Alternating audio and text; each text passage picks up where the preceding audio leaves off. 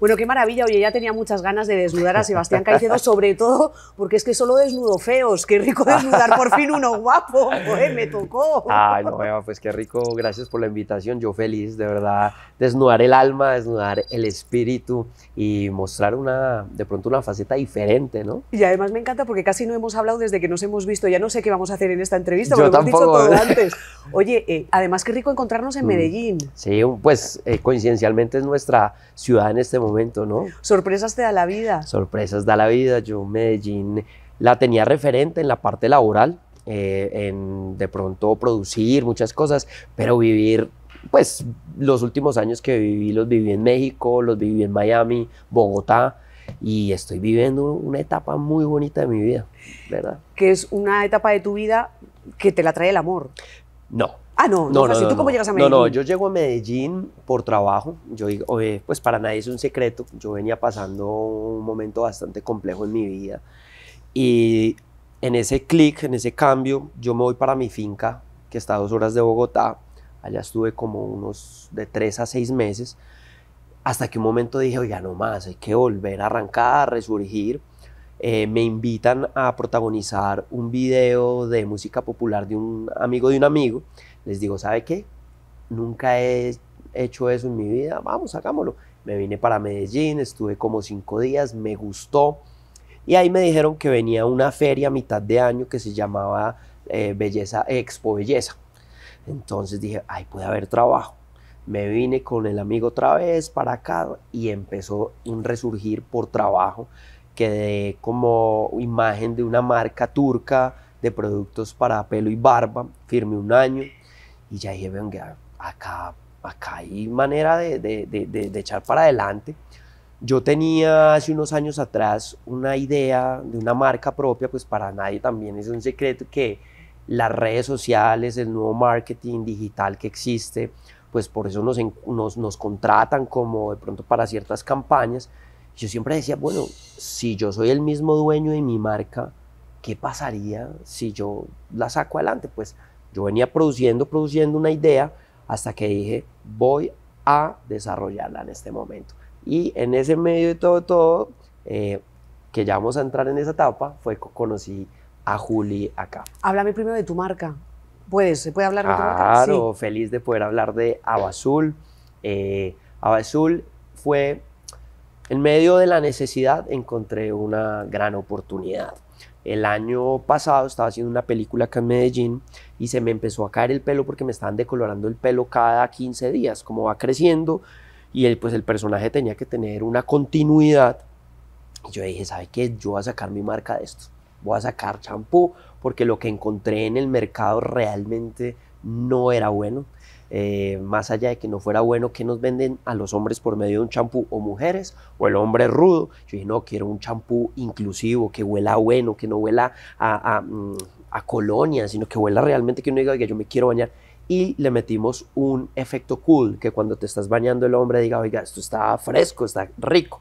¿Quién te parecería un hit que se te acerque y te diga, oye, yo me estoy, estoy usando tu champú? No, después del COVID, a los hombres, para los hombres, que no saquemos barriga y que no se nos caiga el pelo, eso es sinónimo de juventud todavía. Así que si podemos cuidarnos el pelo con prevención, ahí estaba azul y oliendo rico. Bueno, pero, pero hay alguien, no sé, ¿te sueñas un James con tu champú? o- Claro, futbolistas, actores, políticos, gente de influencia que pueda llegar a, a- a- a- a llevar a Basula más, pues no sé, de pronto el profe Vélez, que es calvito, que le salga pelo. No Sería sé, un sueño. Podría Se ser. lo podemos mandar. Se lo podemos mandar. Yo, una vez alguien me dijo, no, es que este champú le puede sacar pelo hasta un bombillo. Y le dije, claro que sí. Eh, en este momento que lo use Petro, mm, ¿es, es bueno? Sí, ¿De la imagen? hay que bañar a todo el mundo. y este, lo bueno de este champú es que como es el champú de Papito Dios, eh, ya contaré esa historia, eh, yo creo que sería un muy buen momento para que Petro se bañara con Abazul. Bueno, estás en Medellín con tu marca, pero igual la actuación me imagino que sigue ahí. Sí, la actuación sigue. eh, acabo de hacer una película en mayo en Guadalajara. Después de eso estuve en un reality con Telemundo, se llamaba Los 50, 50 celebridades de Latinoamérica. Ah, pensé que eran los 50 Sí. de edad y yo todavía no no, no, ahí. no, no, los cincu- eran 50 celebridades. Ahí llegamos hasta la mitad del reality. Ahorita a final de año voy a ir a hacer otra película en República Dominicana. Quiero seguir actuando, quiero hay muchas opciones en este momento. eh, hacer películas como Sound of Freedom, me Sí, encantaría también. poder hacerlo. Eh, cine cristiano, están haciendo, no sé si conoces The Chosen. No. The Chosen es una de las series financiadas 100% por el mundo cristiano. Tienen su propia plataforma digital y eh, fondeada por cristianos. Ahorita hay posibilidad de hacer nuevas películas, historias no religiosas, no fanáticas, sino contando historias y testimonios de personas cómo se encontraron con Jesús, como me pasó a mí en mi peor momento de mi vida. ¿Y, y ya estás en contacto con ellos o eso es algo que te gustaría hacer pero no, todavía no? ya, ya hay contactos, ya hay contactos. Lo que pasa es que vamos paso a paso. Eh, creo que ahí, en este momento del mundo, eh, brilla mucho la oscuridad y tenemos que hacer que la luz brille también. Oye, ahora que decías que fue el- cuando tú te encontraste con Papito Dios, ahí estaba con tu chica, si no te llegas a encontrar, no hay chica. Si no me encuentro con Papito Dios, no me encuentro con mi chica. Realmente fue él el que me hizo llegar eh, a encontrarme con Juli. Nosotros nos conocimos en la iglesia. Entonces, esa, esa relación con Dios me lleva a Juli. Juli, pues eh, ya tuviste la oportunidad Claro, de de charlar estar- con He ella. charlado más con ella que contigo. Ya has hablado más con ella. Eh, pues Juli tiene su marca de ropa femenina y pero además de eso tiene un movimiento, ella le habla a las mujeres, hoy ya le habla también a los hombres, se llama Mujeres con propósito y ella tenía una conferencia en Bogotá. Entonces al ver que pues tenía, nos, nos habíamos eh, cruzado en la iglesia, me llama un día y me dice, "Oye, Sebastián, tú no me conoces, me gustaría mm, a ver si nos puedes cotizar una historia en tu Instagram para darle, eh, replicar la información de la gente que esté, las mujeres que estén en Bogotá, puedan ir a, nuestra conferencia que es 100% gratis. Le dije, mira, primero que todo, no te voy a cobrar estas, este tipo de cosas, me parece muy bonito apoyarlas. Y segundo, cuenta con eso. Me manda la información, hablamos. Y después de haber hecho esa, ese contacto, seguimos hablando. Seguimos hablando como un mes. Yo estaba terminando la película que te, que te comenté. Y un día me dice, oye, ¿no te interesaría conocer las instalaciones de, de- de mi empresa? Tú que tienes el sueño. Yo ya le conté el sueño de mi marca de Abazul.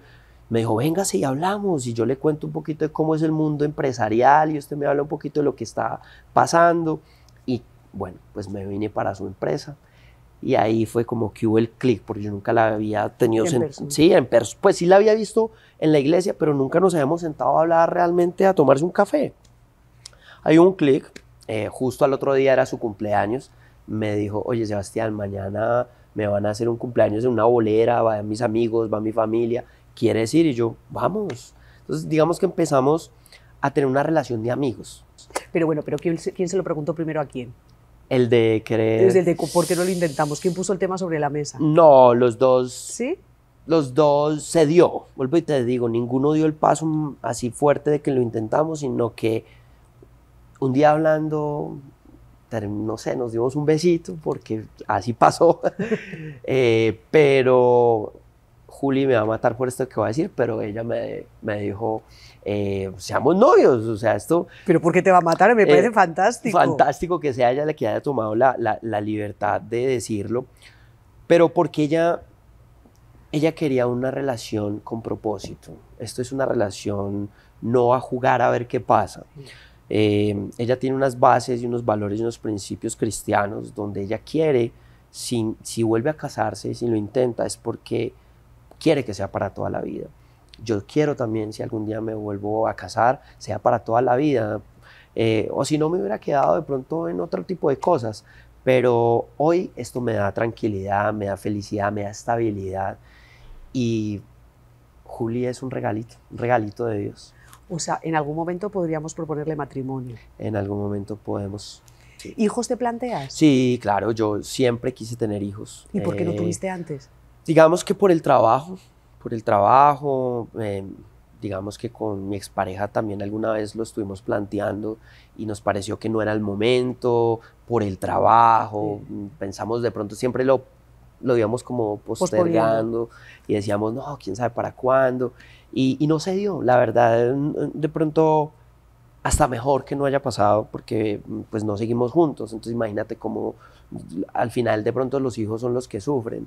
Em, yo creo que es que Dios es muy sabio y sabe en qué momento de la vida es. ¿Tú ya no te hablas con tu ex? Sí, a veces hablamos por pues, cosas que todavía tenemos en común.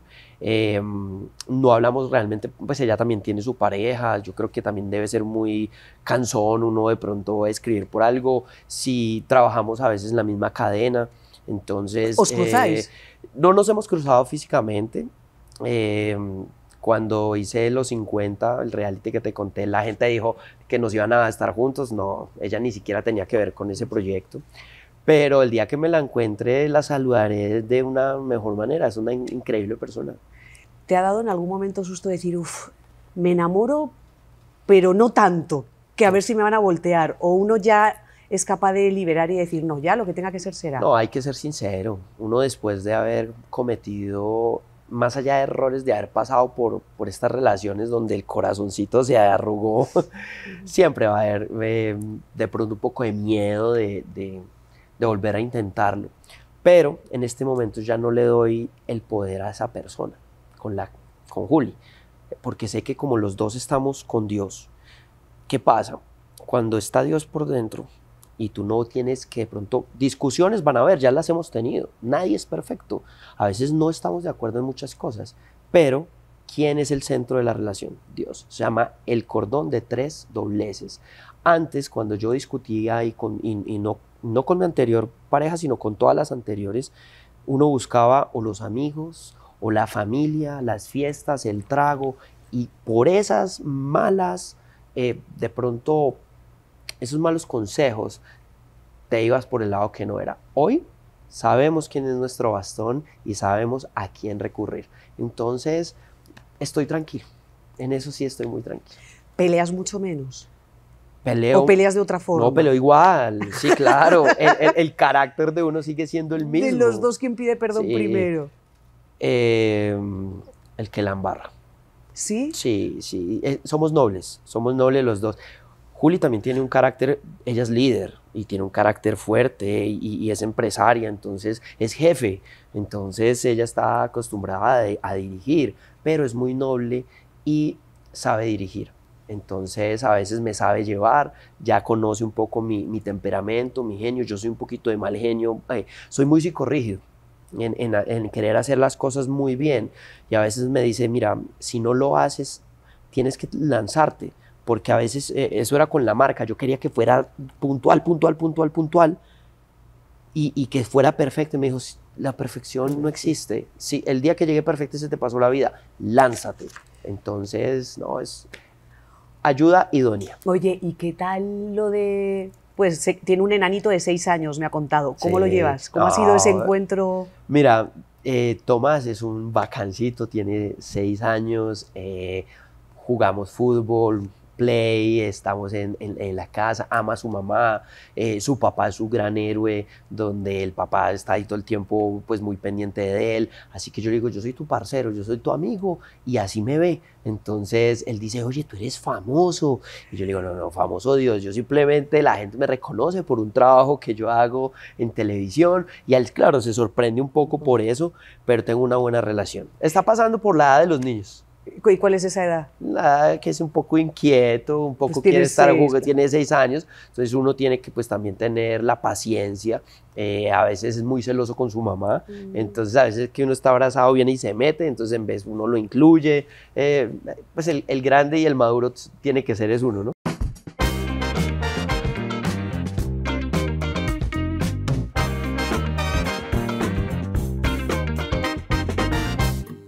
Oye, y ahora que te comentaba eso de la fama, pues yo sé, ¿qué te dicen por la calle? Cuando, ¿Qué es lo así, algo loco que te haya pasado?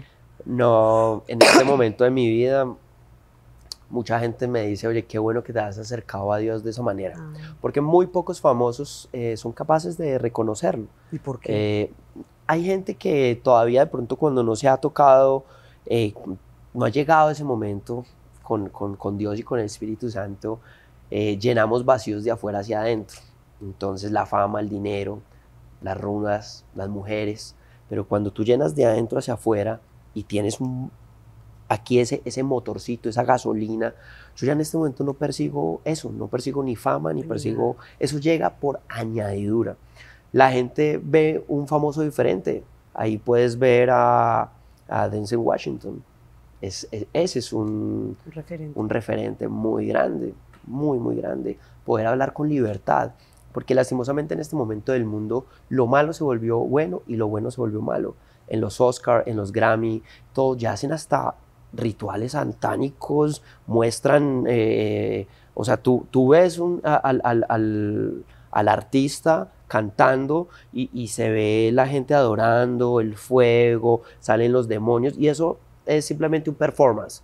Pero cuando quieres hablar de Dios, entonces fanatismo religioso, cuando realmente quién fue el verdadero que nos libertó, fue Dios. ¿Te has sentido señalado? ¿Hay claro, sí. total, sí. Hay gente que ya me dice pastor, eh, me, me, me, cuestiona por de pronto haber tenido esa vida anterior de libertinaje, de pronto de la, de la fiesta, de la rumba, que no está mal, ojo. Yo, a mí me gusta una buena cervecita, un tequilita, voy a restaurantes, voy, pero todo tiene un límite, porque es que ya en este momento del mundo todo se volvió, lo normalizamos todo se normalizó, pero vaya y diga lo contrario, entonces no hay que saber que hay límites para todo. Pero yo me quedo con esa palabra de que te cuestionan el libertinaje, pero yo lo que entiendo de ti es que tú has sido una persona muy de pareja, o sea, libertinaje. Toda la vida. No, de la fiesta, porque yo a mí me gustaba el, el, el, alcohol, me gustaba la fiesta. Yo no puedo decir que no, claro que sí, pero a veces excedía y pasaba esos límites. No, no, no era. Lo podía hacer también con mis parejas o con mis amigos. Pero hay que saber que si yo no me hubiera cometido tantos errores, tal vez, tal vez, tal vez no. Mm, es que come, sí cometí muchos errores. Pero y hoy lo digo. Cometiste? Sí, en, en, momentos de mi vida alguna vez fui infiel. O sea, no, eso yo. Y en este momento lo, lo, lo puedo Ay, reconocer. Yo, yo, ¿Te han sido infiel a ti? Sí, claro. claro. que perdonar es difícil, Perdonar pero es yo difícil. creo que de ahí al libertinaje Sí, bueno, la gente liberti- exagera claro. un poco. O sea, No, yo, o sea, no, yo, yo no puedo decir que fue un santo. Alguna vez probé algo de, sí, claro. de que marihuana. Sí, claro. Sí, y, en- y sobre todo en este mundo artístico se, se, se ve, se conoce. No me gusta juzgar ni señalar a nadie, pero, pero a veces uno se deja envolver en el mundo, se deja envolver y, y el carácter no lo tienes tan fuerte. Hoy puedo decir que tengo un carácter bastante fuerte de amor. Y los peores errores que he cometido en mi vida estuvo el trago de por medio. Estuvo el trago por medio. Entonces, no, no puedo decir que no me gusta una cervecita, un vinito. Me gusta. Pero no quiero, la verdad, no me quiero volver a emborrachar. ¿Cuál ha sido tu peor error? Estar lejos de Dios. Es que. Es que. No quiero sonar fanático. no suena fanático. Pero cuando uno tiene esa intimidad y esa relación con Dios, tú ya sabes qué es lo bueno y qué es lo malo. Entonces, si tienes esa relación con Dios desde joven, Juli conoce a Dios desde chiquita, su familia es cristiana desde chiquita. Y ella me dice que cuando vivió en España, ella estuvo en círculos sociales fuertes, pesados, Sí. pero como tenía esas bases, esos principios, valores, entonces, ¿por qué era? Por tener a Dios cerca. Y eso yo creo que donde todos tuviéramos eso en la vida, cometeríamos muchos menos errores. Porque a veces uno, ni siquiera es porque uno quiera, es por desconocimiento. Si tú andas con, seis- con cinco borrachos, tú eres el sexto. No hay nada que Literal, si andas con cinco empresarios, tú eres el sexto. Entonces, si desde de pequeños nos enseñan esos valores, esos principios desde el testimonio, ya cuando tengamos nuestros hijos, tú que ya eres madre, decir, ¿cuál es la, me- cuál es la mejor educación? Hablar con ellos, acercarnos. Y si Dios es ese pilar, aún mejor.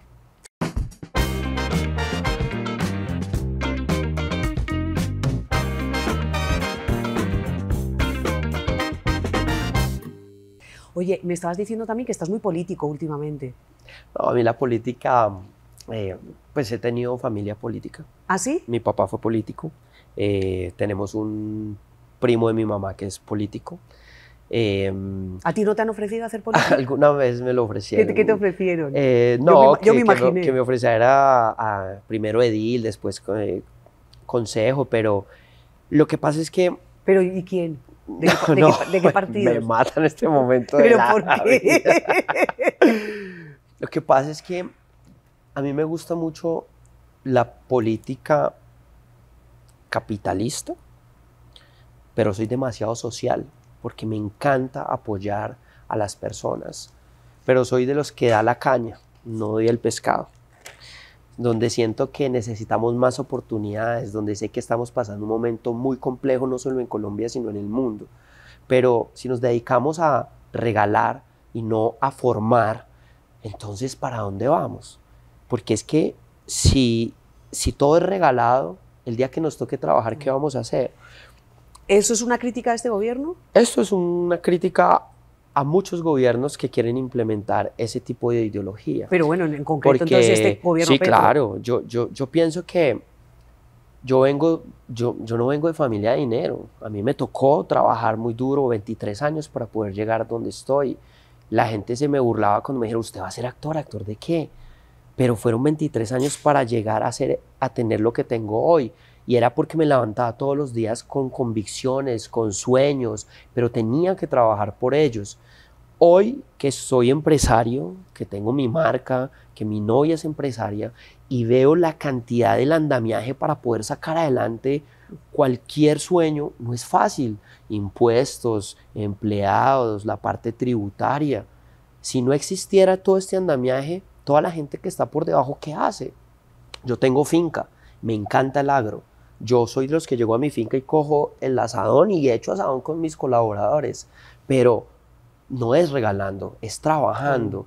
Y la igualdad, igualdad en derechos, igualdad en que haya salud, educación, claro que hay que mejorar en eso, pero también en, no- la igualdad no puede ser todos, todos igual de jodidos en las oportunidades, no acabando a, a- a la persona que de pronto tiene unos modos económicos, entonces es un enemigo, esa, ese, ese odio por la desigualdad de, de, de, de- las personas que tengan dinero, no, tiene que haber, tiene que haber quien genere, más bien que sea un referente para nosotros algún día poder tener lo mismo. ¿Sientes que se ha estigmatizado un poco al que tiene, al empresario y al más rico? Claro, total. Y, las- se ha hecho esa pelea de clases muy patente. Sí, esa leche. Y, y sobre todo lo que la gente no entiende es que los del dinero, si el país se daña, se van, como pasó en Venezuela. La gente que tiene dinero se irá y pondrá sus empresas, y si no es que ya están allá. Pero a los que quedamos acá, tratemos de, de generar más dinero, tratemos de que, que nuestra, nue- nuestros colaboradores generemos empleo, un empleo digno, pagando unos buenos... Yo, por ejemplo, les digo a mis colaboradores, miren, por ahora esto es lo que yo puedo pagar, tratemos de crecer juntos todos para, para, para que podernos poner mejores condiciones, pero no es aplastando a las personas ni de arriba hacia abajo ni de abajo hacia arriba, porque es, es- se vuelve un, un odio de clase. Y al final, ¿quiénes son los odios? Todos. Mejor dicho, no votaste por Petro. No. ¿Por Rodolfo ¿Te lo Mm, pensaste? Pues al final tocó por él, pero no. No, ¿Y tú, tú como, como eres de Bogotá, votas en Medellín o no puedes votar en no Medellín? puedo votar ahorita acá. No, no puedo votar en este momento. Pues ojalá que, que, que sí los líderes políticos que salgan mm, sean muy comprometidos, dejar de estar hablando del pasado. Es que porque es que usted hizo esto, salvemos de esto, y esa es la bandera. Pero ¿dónde están sus propuestas? ¿Qué es lo que quieren para el país? ¿Cuál, qué, qué es lo que realmente está fomentando usted para que el país salga adelante? Hablar de un gobierno pasado porque pasó esto y lo otro, ok, nos vamos a seguir matando muchísimos años más. ¿Qué está generando usted para que el país salga adelante? ¿Te gusta Fico? Sí, Fico me parece que, que es un buen líder. En este momento, pues ya casi es un 100% seguro que va a ser el alcalde de Medellín.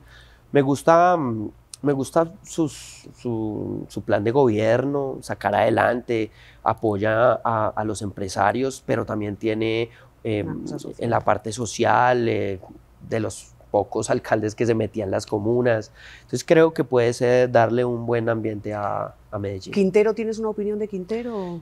Mira, Quintero lo he visto, eh, me gusta la fe que tiene con Dios, pero siento que uno tiene que ser congruente con, su accionar. Entonces, la política es muy difícil y como es tan cambiante, eh, yo, por ejemplo, si yo algún día, no creo que sea político, pero, pero no me gustaría tener que deber favores.